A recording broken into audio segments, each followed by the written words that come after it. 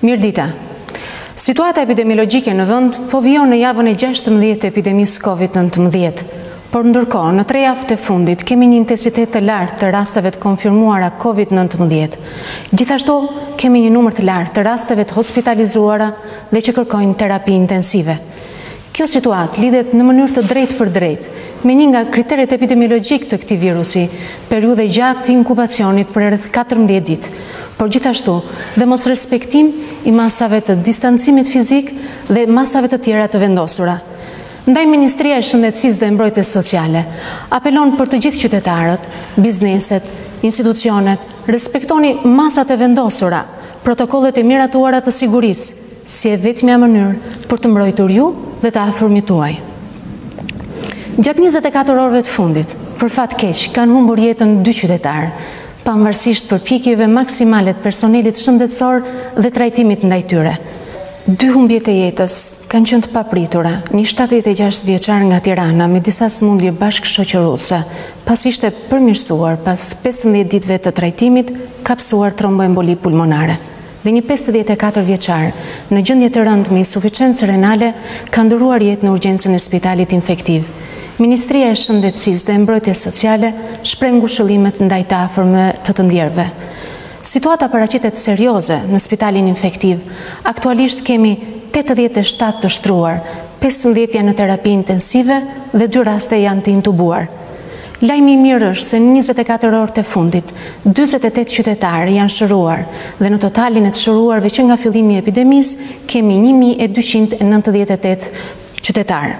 Ndërkohë, kanë vijuar testimet virologjike në Laboratorin e Virologjisë në Institutin e Shëndetit Publik dhe gjatë njëzet e katër orëve të fundit janë kryer katërqind e dy testime për raste të dyshuar Covid nëntëmbëdhjetë dhe prej të cilëve kanë rezultuar pozitivë shtatëdhjetë e shtatë raste.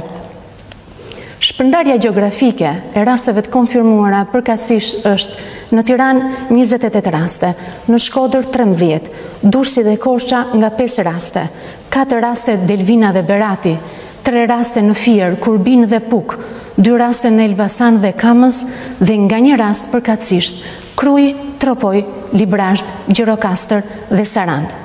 Në vendin tonë aktualisht kemi 920 persona aktiv me Covid nëntëmbëdhjetë, kryesisht në Tiranë, Shkodër dhe Durrës.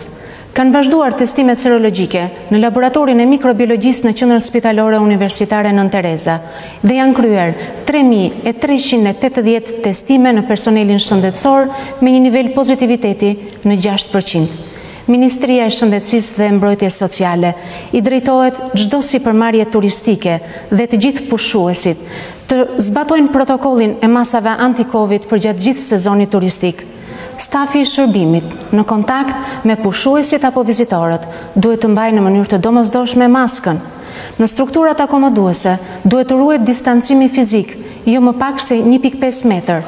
Të zbatohen me rigorozitet masat e pastrimit, dezinfektimit, në të gjitha zonat, bufe, bare, restorante, kuzhina, në të gjithë strukturat akomoduese. Të tregohet kujdes në përdorimin e ashensorit, nëse struktura akomoduese e disponon atë, duke respektuar masat e distancimit fizik dhe të higjienës. Të kryhet dezinfektimi i krevateve të plazhit, shërbimeve higjienike dhe të aksesorëve të ndryshëm në mënyrë sistematike dhe periodike. Të respektohen hapësirat midis çadrave dhe ndenjësve të pushuesve në distancën jo më pak se tre pikë pesë metra dhe të evitohen grumbullimet shoqërore. Kontaktoni linjën e gjelbër zero tetëqind dyzet dyzet nëse keni nevojë për këshillim psikologjik apo për informacion për Covid nëntëmbëdhjetë. Nëse mendoni se keni qenë në kontakt me persona të konfirmuar me Covid nëntëmbëdhjetë apo se jeni prekur nga ai, ju lutem telefononi numrin e urgjencës një dy shtatë.